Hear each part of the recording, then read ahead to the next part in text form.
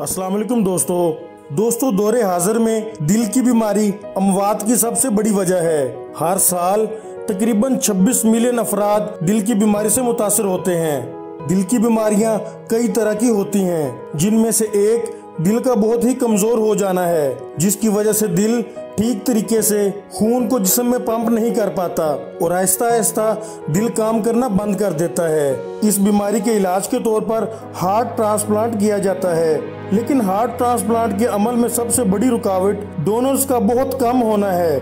इस मसले से निपटने के लिए फ्रांस की एक कंपनी कारमिट एस ए ने आर्टिफिकल हार्ट मसनू दिल तैयार किया है, जिसको बाकायदा तौर पर यूरोपीय यूनियन में फरोख्त की मंजूरी भी मिल गई है। ये पहला ऐसा मसनू दिल है जो मार्केट्स में फरोख्त के लिए दस्तयाब होगा। ये आला हार्ट फेलियर से दो चार मरीजों के लिए ज़िंदगी की एक नई किरण साबित हो सकता है।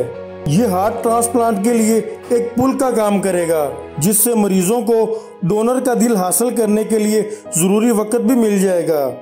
इस फ्रांसीसी कंपनी कार्मिट ए के चीफ एग्जेक्टिव स्टीफन पीट ने एक इंटरव्यू के दौरान बताया कि उन्हें मसनू दिल की तैयारी में 10 साल लगे, क्योंकि ये एक इंतहाई हसास और पेचीदा आला है। जो कि कुदरती या असल दिल की तरह ही काम करेगा। दोस्तों, इस मसनू दिल का फ़ंक्शन भी कुदरती दिल की तरह ही है और ये बिल्कुल उसी तरीके से ही काम करेगा।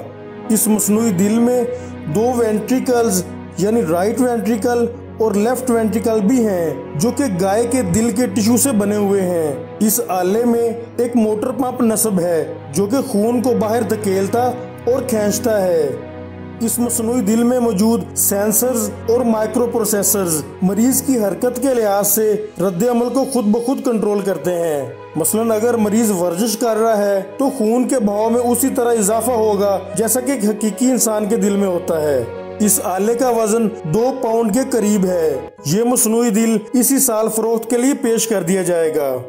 Please like and subscribe my channel, ताकि मैं इसी तरह आपके लिए अच्छी अच्छी वीडियोज़ लाता रहूँ।